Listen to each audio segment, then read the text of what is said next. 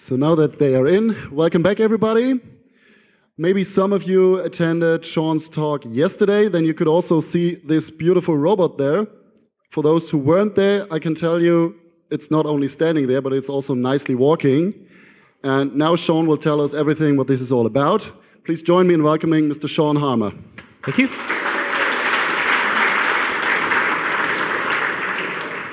Welcome, everyone. And as you can see, today's talk will involve some robots. So let's get started about how we can use animations with Qt 3D. So the structure of today's talk is going to be a very quick overview about animations in general and specifically animations in Qt 3D. And then we'll have a look at how to actually apply some simple animations into your applications. Oops, and I've clicked on something already. Once we've done that, we'll knock it up a notch and have a look at these things called skeletal animations, which have a slight air of mystery around them. But we'll explain it all. It's actually pretty simple when you boil it down. It's just lots and lots of data. And then towards the end, we'll have a look at these, the concept of blended animations and why we want these things. And once we understand why we want them, how we can actually achieve them with Qt 3D. And then finally, we'll finish off with a little bit of a clue as to what's coming in the future around animations. But before I go any further, I'd like to give full credit to a couple of my colleagues, uh, Johan, who's sitting in the front row there. Thank you, Johan. And also Timo. and also Timo, who's not here this week, but who was invaluable in producing all the data um, used in these examples, which I'll show today. So first of all, why are we actually doing this? We can already do animations inside Q. We've got QPropertyAnimation, we've got Q graphics view, and we've got more recently the Qt Quick um, animations that can animate properties as well. So why bother? Well, all those things are great, but they're all targeted at developers. Now, if you're like me, which I suspect most of you are, is that developers actually suck at making animations. Yep. Just like we suck at drawing, you've heard of developer art, well, developer art also extends to developer animations. So I guess all of you have tried making a few bouncing animations with Qt Quick, and that's great as far as it goes, but it doesn't cut the mustard when you want to do proper professional level animations. So we also want to extend Qt to be accessible to um, content creators as well as developers. Now, that's very difficult with the existing animation frameworks because it's all around using the APIs to build up structures which represent your animations. There's no way for an artist to go off and create an animation in one of their familiar tools and get it into your Qt application easily. So developers are not great at creating complex content. Conversely, artists are not great at software development. So, how about we just let each do the bit that they're good at, and somewhere in between, we can actually help them join the dots to make something nice. Another reason we want to do this is scalability. Yes, Qt Quick has the nice render thread where we can offload all the rendering to and the batching and everything. And recently, they've also introduced the um, Qt Quick animator types, which also allow you to offload some of the animation onto the render thread as well. That's fine for Qt Quick and 2D work, but with 3D, often we're dealing with a whole other scale of problem. Okay, when we get onto skeletal animations, you'll see it's not uncommon for a skeleton to contain well over 100 joints and we may well have many of these things on the screen at the same time, all doing their own animations. So we need something that scales up better than just having the main thread do all the work, or even the render thread in Qt doing all the work. So the complex animations can consume lots and lots of data. And we need to process all that data. We need to do lots of interpolations. We need to do lots of blending. There's quite a lot going on behind the scenes. Now, it just so happens that Qt3D scales very well up to multiple cores. In fact, as many cores as you throw at it, Qt3D will consume. It makes many more jobs than what there are cores. And the nice thing about the animation framework in Qt3D is it's completely non-blocking on the main thread. You use the main thread to set everything up, specify the relationships and the animations and what the animations should map onto. You tell it to go, and everything else happens on the thread pool behind the scenes. One slight gotcha that people run into with the Qt Quick animator objects is the fact that you only get the property updates when the animation actually finishes. Um, this is contrary to the standard Qt Quick animations and Qt property animation, where you get every single property update. So they're the kind of two extremes. With Qt 3D, we provide you the option to opt in to property updates. So a lot of the times you just want an animation to play and let the backend get on with it. You don't care about the actual individual property values, but sometimes you do. And when you do, you can now actually get your hands on them. So this is just a new property on the Q node class where you can basically specify which properties you wish to receive updates for for the intermediate values. Okay, so fundamentally, what is animation? It's basically just a sequence of still frames. Yeah? But if we display them rapidly enough, it fools our primitive little monkey brains into thinking that something's actually moving in between. Our brain kind of fills in the gaps, doing a sense of sort of interpolation internally. Traditional animators draw every single frame out. So if we're using keyframed animations, uh, we know that computers are very good at maths. We have our animators specify a few positions at certain key points in time or key frames, and then in between those times, we ask the computer to basically interpolate in between. Yep, everyone's happy with the concept of keyframes. So here we can just see a few keyframes from a simple bouncing ball example, which I'll show you a bit more in detail shortly. Now, there's a big difference between offline animation used in movies and TV programs compared to what we need to do in real time. When we're doing offline rendering, the animator and the uh, technical directors all know the exact time each frame will be rendered at the screen. And they can exactly script the animation to take that into account. When we're doing real-time rendering, we have to deal with these pesky things called users and also data coming into the system that may completely change the way our animations play out. So they may change the start time, they may change the playback speed, um, they may interact with other objects in the scene, which triggers a different animation to be played partway through. It becomes a lot more complex. So there's random variations in timing. There's also variations in timing that come from the fact that we're running on a whole raft of different hardware targets. So I've got a reasonably powerful laptop here. Other people may be running on a Raspberry Pi. We still need the same animations to work on all those platforms and everything in between.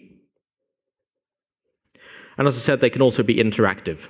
So we have to take that into account. Now, what does that mean in practice? Well, when we're offline rendering, the animator can use their tools and they can set the keyframes at specific points, exactly on the frame times. So, for example, here we see these little yellow boxes.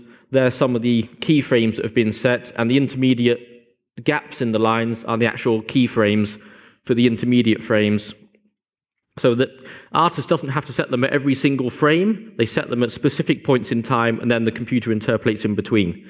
But the point is, the artist can control these interpolation angles and things to make sure that these intermediate points line up exactly on the frame boundaries where they wish them to.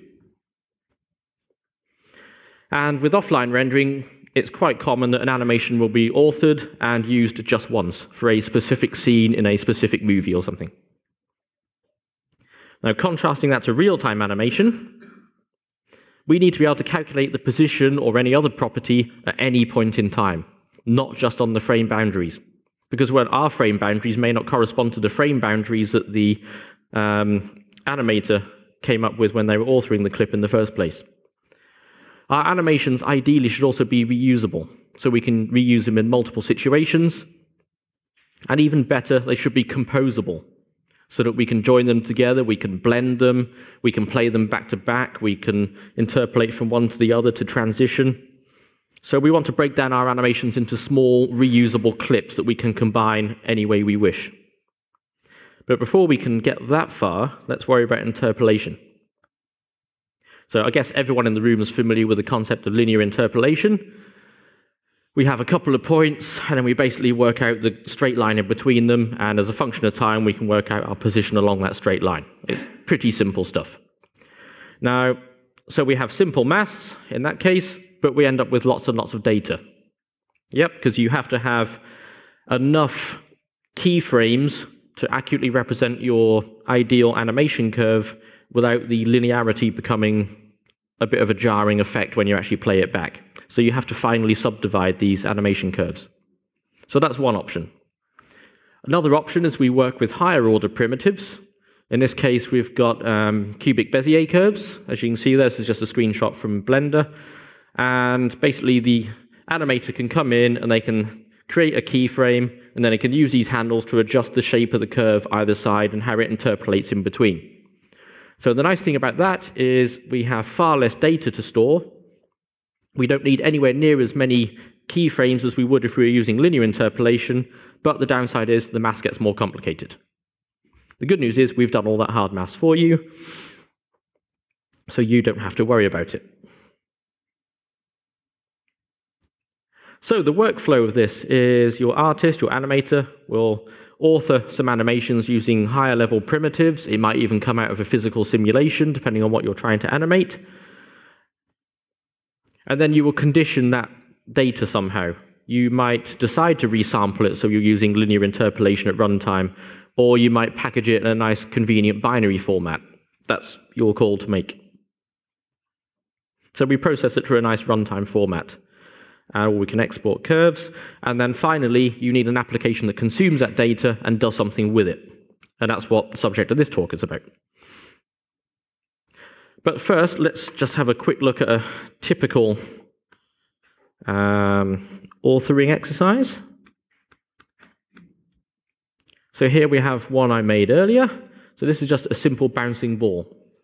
Okay, and if I play the animation, uh, Alt A, you can see it bouncing up and down, and it kind of simulates how you'd expect a bouncing ball to behave under the influence of gravity. Yeah, I've not included air resistance or anything funky like that, it's just bouncing forever.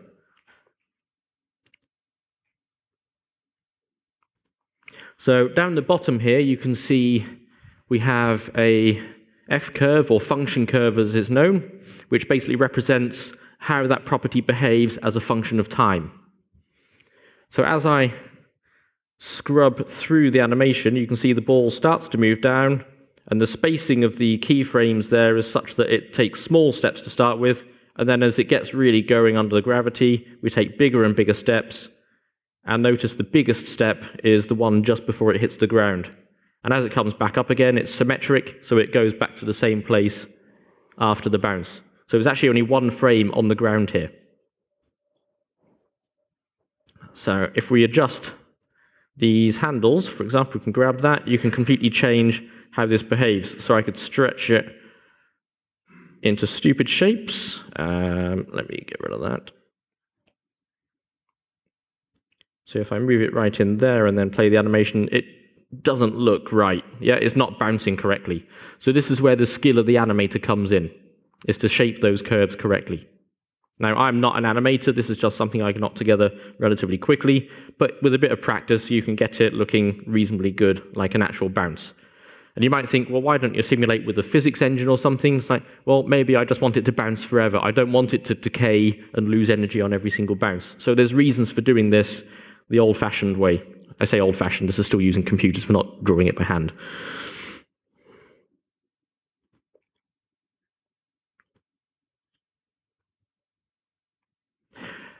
But the nice thing is, once you are doing this by hand, you have full control of what the animation looks like. So the artists are able to use their familiar tools. In this case, I was using Blender, which is also what Johan used. Um, other people use Maya or 3D Max or whatever. And this allows us to use data rather than forcing programmer art down people's necks. Now, you may not think that's a particularly big deal, but if people want professional looking animations, it is a big deal. Because when you're doing this with a professional animator, they'll put in all kinds of niceties you probably don't even think about when you're watching an animation in a big production film, but then when you try your own, it kind of looks a bit sucky and you're not quite sure why. So some of the reasons for this are things like squash and stretch. Okay, with that bouncing ball, it was completely rigid, but normally when you were animating it properly, as it is falling down, you would stretch it in a vertical sense. As it hits the ground, you would squash it down. Then as it rebounds, it stretches vertically again. Yeah? Anticipation. People don't like it when things suddenly start to move. Okay, if you want something to take a big jump, then quite often they're going to take a bit of a step back before they leap forwards. Yeah? This is again something you can put in with an animation created in a digital content creation tool rather than something that as an animate as a developer you would have to try and code up. This is not your area of expertise. Let the animators do it. You can put in plenty of variations, and you can do things like also having um, when a ball is rolling along and it comes to a stop, it just doesn't stop dead, it rolls back a little bit because of the inertia and the physics going on inside the rubber ball. So just tiny little things, but they make a difference. So we know how to make animations and some of the things that an animator might put in in addition to the things that we would do as developers. Let's have a look at runtime. So there's three concepts we have to worry about when we're dealing with consuming animations. The first one is the animation data. So we know how to get that. We can have our artists create it in a tool and export it in a convenient format for us. We'll talk more about the formats later. We then need to be able to have the animation played back somehow, and we're going to see that very shortly. That, however, is not enough. All we do when we get an animation played back is we get a whole bunch of numbers come out. That's not much use to us. What we want to do is target those numbers onto properties of objects. That's where the real value of it comes from. So we have these three concepts. Now, unfortunately, the animations inside Qt Quick and, well, Qt Quick 2, they conflate all three of those concepts. They are all combined in the same data structures in the Qt Quick animations. So if you make a Qt Quick animation, um, it might be quite a complex one with lots of um, sequential and parallel animations in there. You have to specify the properties you want to target it to, and you're specifying the from and the to values. Okay, that's conflating the targets for the animation and also the animation data along with the playback. So Qt 3D separates these things out so we have optimum options for reuse and flexibility and also efficiency.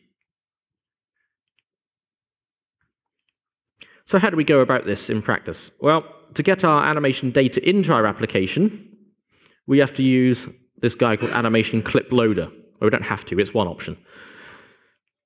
This is actually pretty easy to use. We export our data, our animation, from Blender or whatever in a standard format. Now, one of the standard formats we're supporting is GLTF2, which is um, a Khronos specified open format. Highly recommended you to have a look into it. It's rapidly becoming the JPEG or PNG of 3D content. And in Qt 3D, we're aiming to have full support of GLTF2, hopefully with 5.10. Okay, so we have some data in a file. We use our animation clip loader, we set the source URL, it loads in the animation data. So far, so good. What if you want to get your data not from a baked file on disk, but from your application or some other data source? Well, we also provide an API for this. This is called Animation Clip. This allows you to specify the data inside the clip yourself. This is very useful if it's coming from some physical simulation or something else of that nature. In that case, we specify animation clip, and then it has a clip data property where you can then call back to a C++ function to populate the actual contents of that. We don't have a QML JavaScript API for populating that piece of data yet. I'm hoping that will come in 5.11. But to be honest, if you're dealing with large amounts of data, you probably shouldn't be doing that in JavaScript anyway. Now, the contents of this um, clip data is structured something like this. So inside the animation clip, we have a Q animation clip data, and that consists of a vector of Q channels. Now, a channel holds the animation data for one particular property, for example. So it might be the position, or it might be the temperature of something, or it might be the rotation angle or the color. You get the idea. Now, within the channel, there are an array of Q channel components. So these are the individual components of the position or the color or the rotation or whatever. So the red, green, blue, the X, Y, Z, the W, X, Y, Z for a quaternion.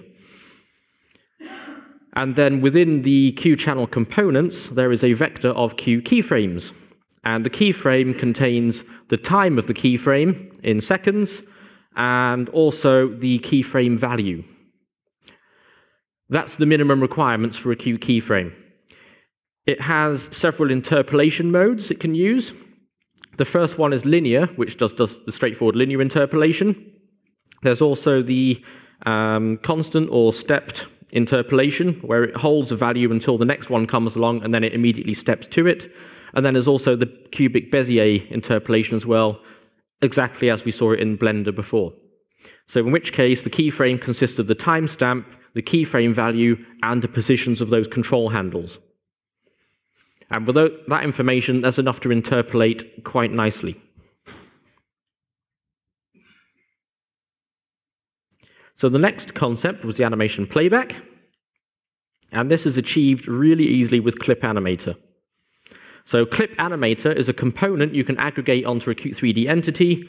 You feed it an animation clip in the clip property, and it has a running property you can set to true or false. Pretty easy. So that gets us two thirds of the way. Oh, yeah, there's also more advanced options for playing back animations, which we'll talk about a bit later. So the third concept is how do we target that animation onto some objects and their properties? Well, animations are reusable. We can use them across all kinds of objects and properties. Just because an animation channel is called position doesn't mean we have to use it as a position. We can target it to anything we like. And we can do this mapping with a pair of types called channel mapper and channel mapping. So a channel mapper contains a vector of channel mappings,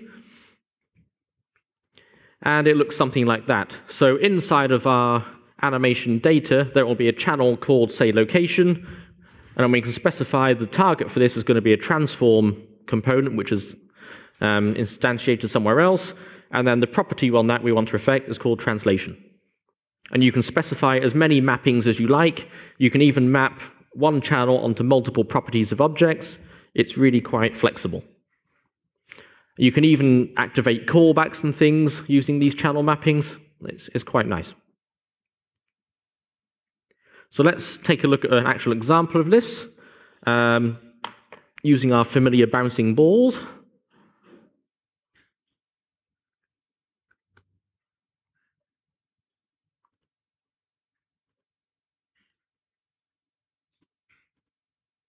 Right, so here we have three different kinds of balls being animated. We've got the blue one, which is doing our vanilla up and down bounce that we saw earlier in Blender. That's just been exported to a GLTF file. The red one is just doing a simple rolling ball animation along. And if you look carefully, right at the end, it does a tiny little rollback as well. So that sort of thing would be a pain to do in regular animation APIs that we have in Qt so far. And then the yellow one is just doing arcing bounce, where it loses a bit of energy each time and it's rotating as it goes along as well. But the actual contents of that is all decided by the animator, the person that authors the clips. The way we play it back is exactly the same.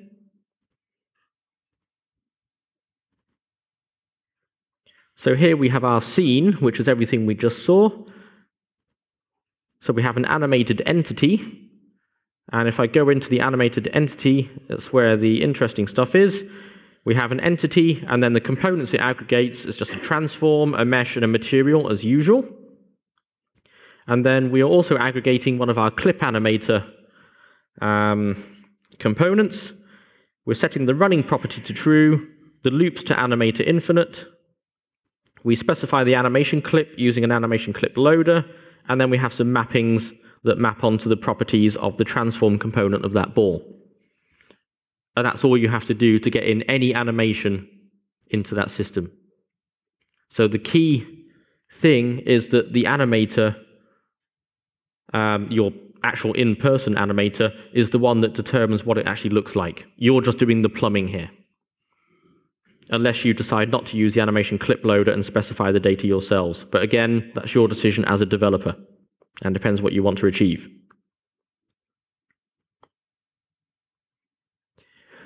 So, now we know a bit about basic animations, let's increase the complexity a bit and have a talk about skeletal animations.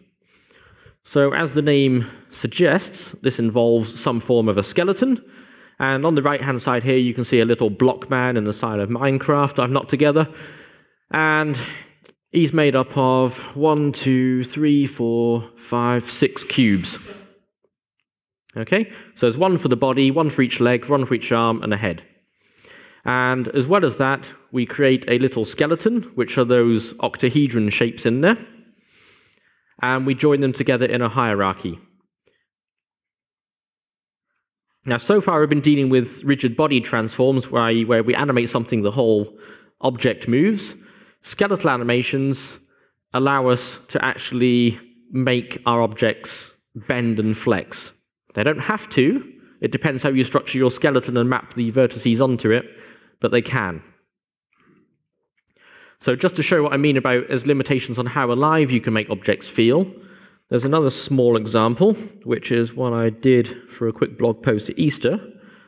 Uh, where's it gone? Baked keyframe animation, this one. So this animation clip is not using skeletal animation. All this animation clip is doing is it's altering the position, the scale, and the rotation of this little egg character. And with that, you can kind of see, yes, he's scaling and stretching a bit, but it's all at the object level. There's not individual bits of him flexing.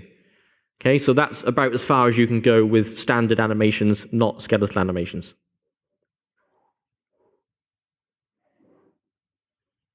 Now, as I say, skeletons can deform a mesh, like living creatures, so biological things, humanoids, things like that, but it doesn't have to.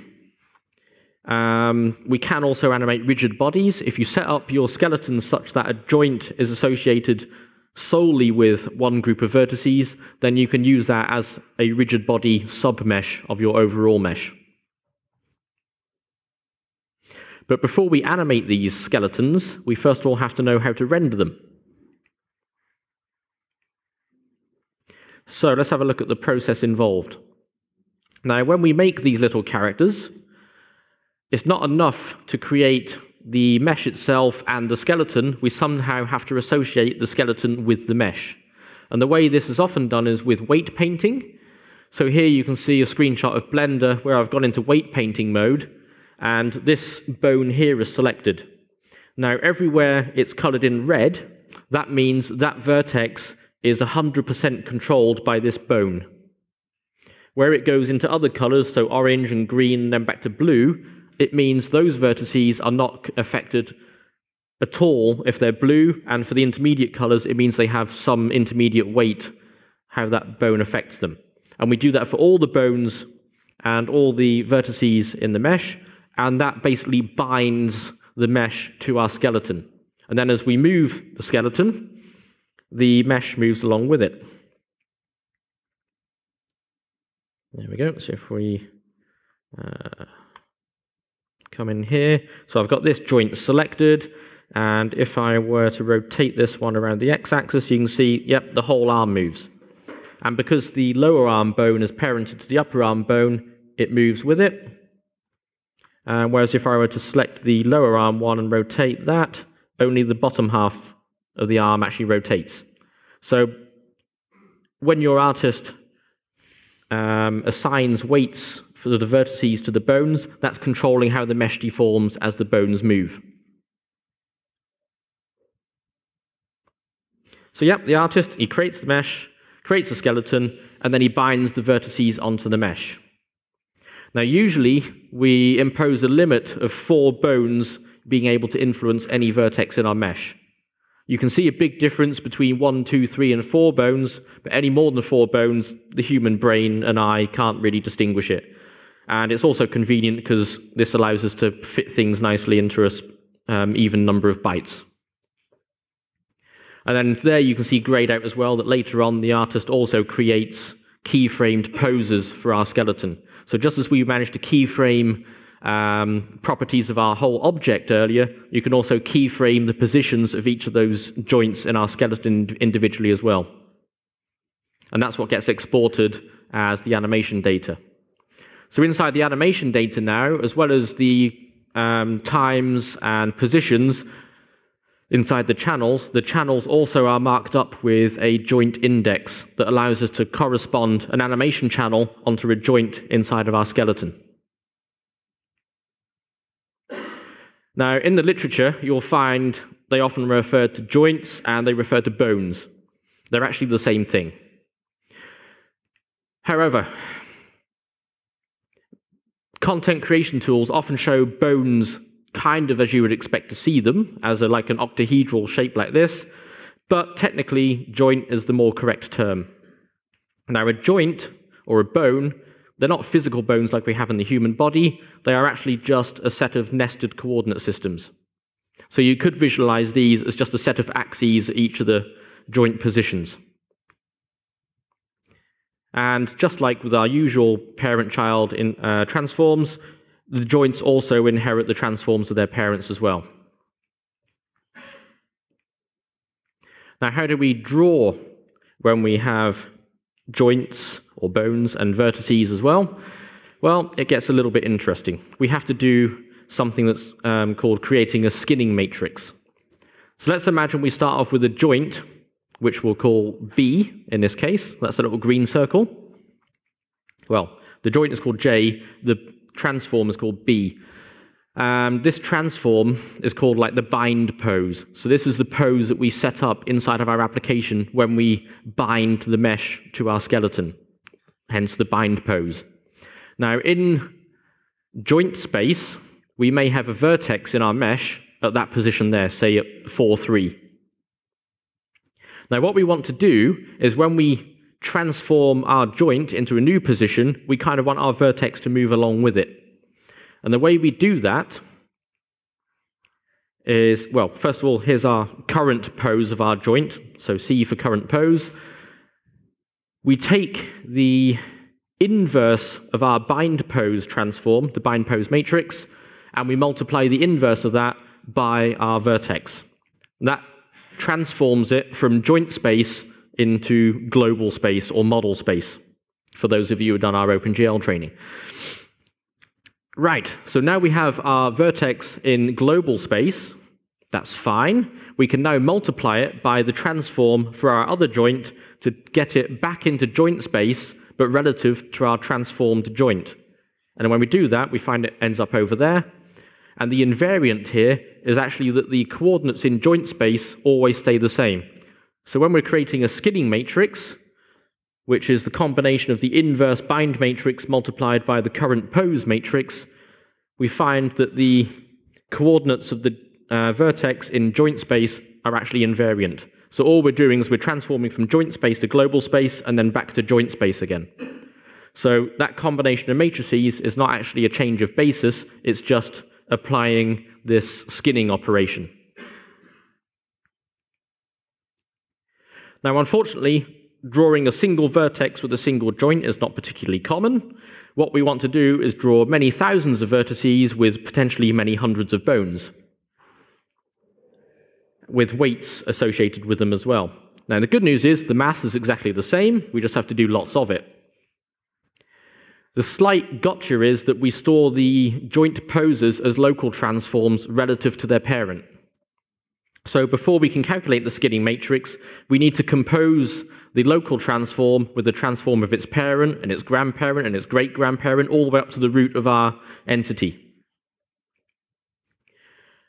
So that gives us our global pose matrix. Now, luckily, the inverse bind matrix never changes. This is constant throughout the entire life of the application, so we can just store that as a constant somewhere. Now, we get the best performance not by having a hierarchical representation of our skeleton in memory, we actually linearize it. So we end up with a simple vector of transforms. And that makes it very nice and easy to iterate through and update in parallel if necessary. So what we do is we calculate the skinning matrix for each joint in our array, each joint in our skeleton, and then we pass that over to the renderer, and the renderer basically then converts that into a a uniform array or a uniform buffer object and passes that to OpenGL.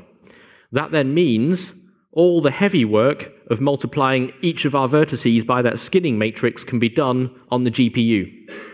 So all the CPU has to do is update the positions of the joints, the heavy lifting is done by the GPU.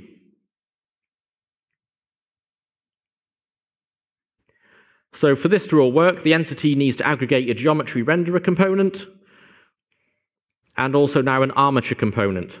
The armature contains the skeleton. And that's done just like that. So as we have a mesh loader and an animation loader, we also have, funnily enough, a skeleton loader. And these GLTF files can also contain skeletons as well as animations and meshes and a whole bunch of other things. That gives us everything we need to render a skinned mesh.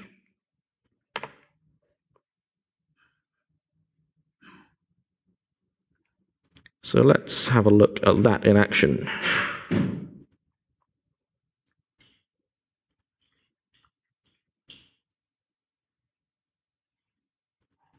So what we have here is on the left, we are rendering just the mesh. There's no skeleton. So we're taking the mesh exactly as exported by the artist. There's no skeleton. And that's what we get. He's in this kind of classic T pose. Now, the reason for that is it allows the artist to bind the vertices to the joints quite easily because the arms aren't close to the side. They're not going to get interference from the joints inside the main part of the body as opposed to just the arms. The middle guy there is um, loading the mesh, but also the armature. So you can see just by loading the armature in its default pose, we get a completely different setup for our robot. And then the third guy on the right hand side is exactly the same, but we're using some nice textures that Johan made in Substance Painter for us. So just to show you the difference that using some PBR materials can make to your application realism. And you can rotate this around and it looks nice and yeah, quite a cool little robot. So the code for that, where has it gone? So for our simple entity, we literally just have a transform, a mesh, and our metal rough material. Nothing new, nothing out of the ordinary. For the skinned entity, we just have what we saw on the slide. We also add in the armature. That's it. That's all you have to do. Now, when you use a skeleton loader, you can tell it to also create the Q joint objects on the front end to allow you to access and address those individually and animate those yourself. But if you don't explicitly request it, we only create the joints on the back end so you're not paying that extra memory cost. That's a optimization. Oops, and sorry, back to that one for a second. And then the only difference between the simple skinned entity and the textured one is we're basically using a slightly different material and we're telling it where to find the textures for that robot. Right, so animating a skinned mesh is absolutely really easy because we already have everything we need. The animation data just contains the transforms for the joints. We know how to render a skinned mesh. We just plug the two together, really, and it's easy. So the animator updates the skeleton poses, we send it to the renderer, and the renderer then just updates the skinning matrix palette, and we draw everything as usual.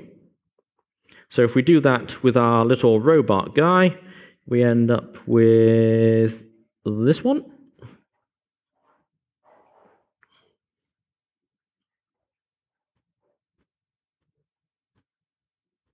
So here's our little robot friend, and he's walking along.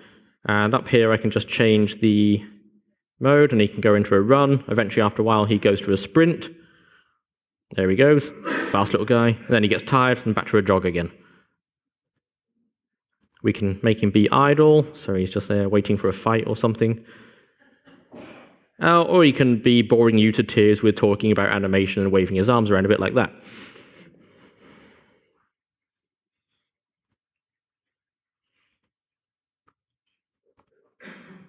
We can also control the playback speed. Um, by default, they all use the same animation clock, but we can specify a clock on one or more clip animators, and then we can control the playback speed with the clock's playback rate. Um, and all animators that have that clock set as their clock property will be affected. So this allows you to do some nice effects like keeping your um, UI animations running at full speed while slowing down all of your 3D animations and get some nice bullet time type effects. And I can show you that in that same example, actually. I shouldn't have closed it. Come on. So here's Mr. Walking Robot, and then I've got a little spin box up here, which if I make that go slower, you, we can slow him right down, and you can see the animation going in slow motion. And you can even make it go backwards. Okay, so you can do some interesting things with the clocks.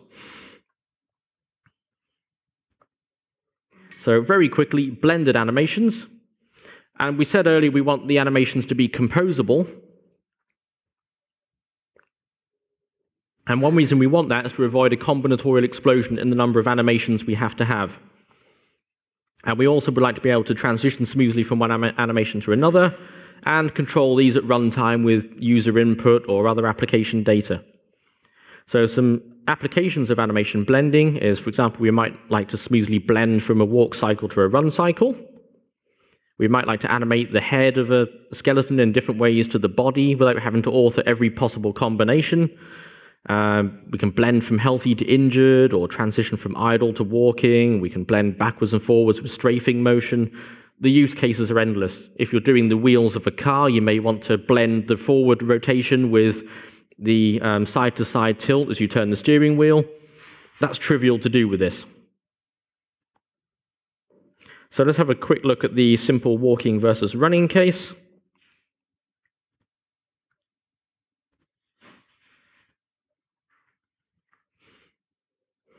So here's our little friend again. Let me find the controls. It always pops up right in the middle. So here he is walking along, and now I've got a slider here, which will allow me to gradually increase how much of a hurry he's in. So, oh, yeah, bit faster, a bit faster, and then he's in a full run. So just by controlling that one slider, which changes a single float, we can smoothly flip between walking and running and walking and running. And yep, you get the idea. And you can even slow it down as well using the clock, so you can make him run in slow motion. If you're trying to make a dramatic start for a movie or something, there we go.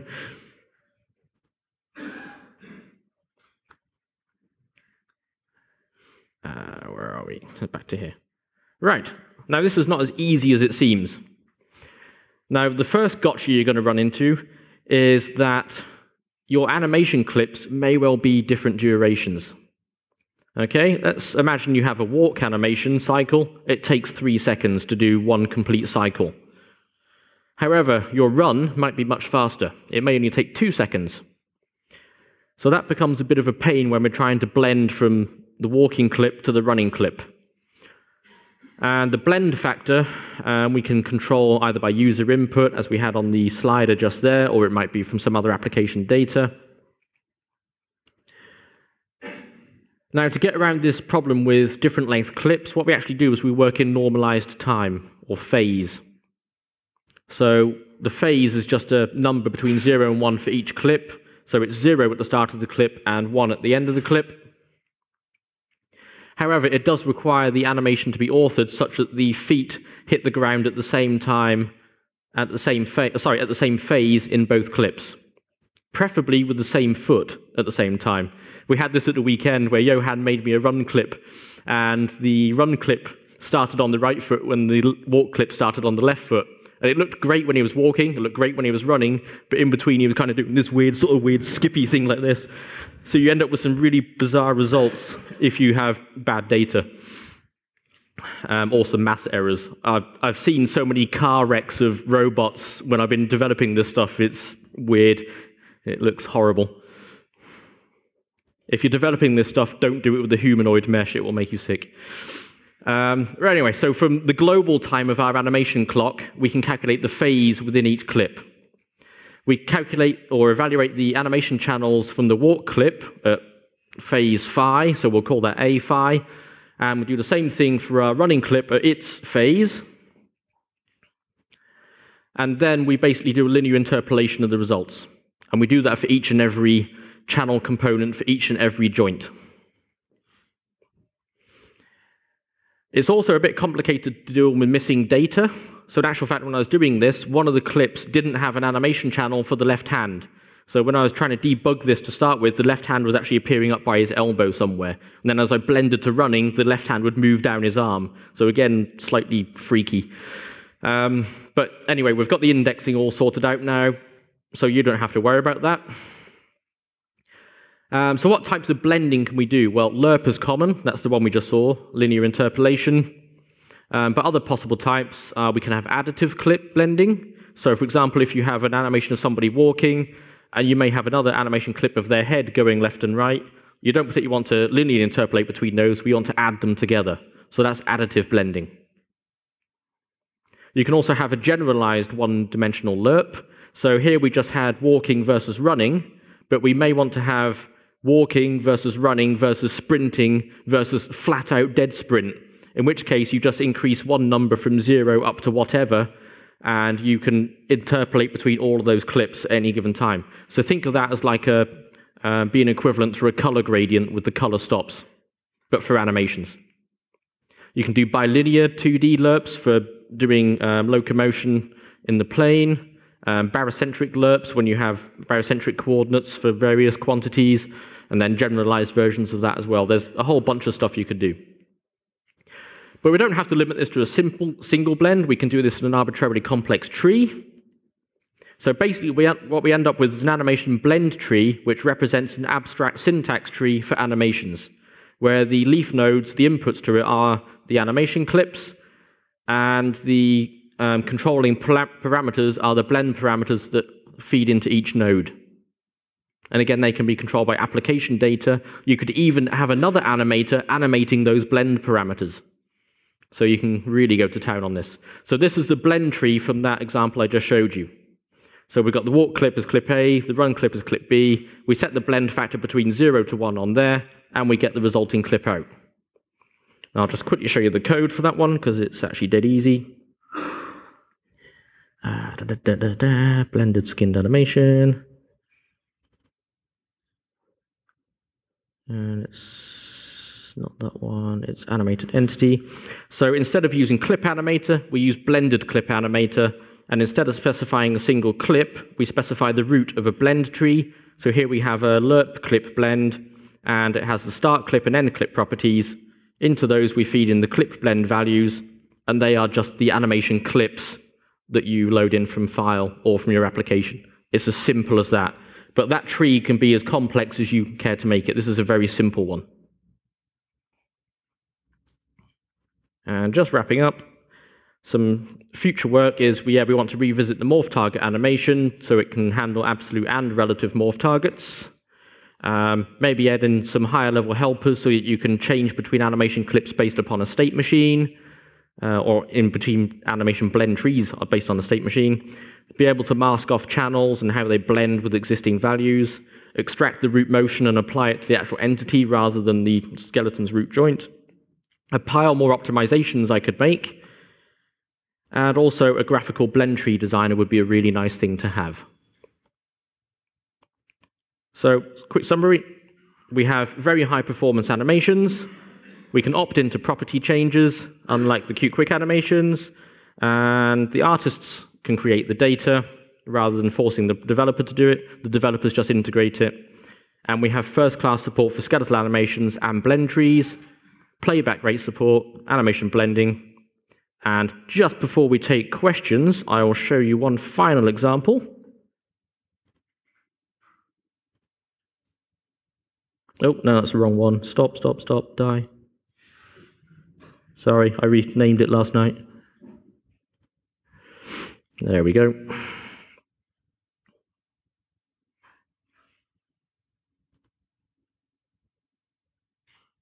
So just to show you, can have lots of these things.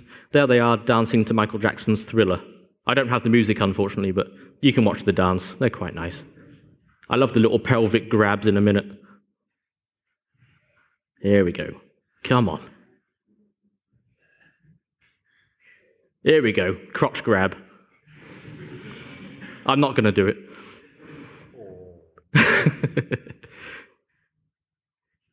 yep, and then they go back to the start again. So, any questions?